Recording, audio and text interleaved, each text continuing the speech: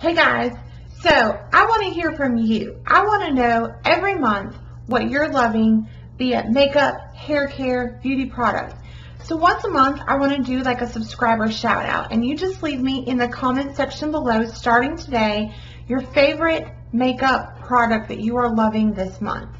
I'm really wanting to start trying new products, reviewing new products, and the best way to do that is to hear from you guys what you're loving. So for the month of August, Leave me a comment in the section below what your absolute favorite must-have product is that you've been using for this month.